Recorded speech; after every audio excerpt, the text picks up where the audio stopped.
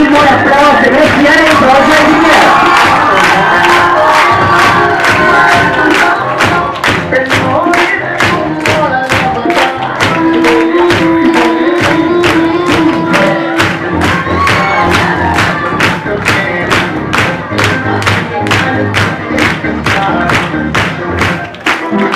Thank you.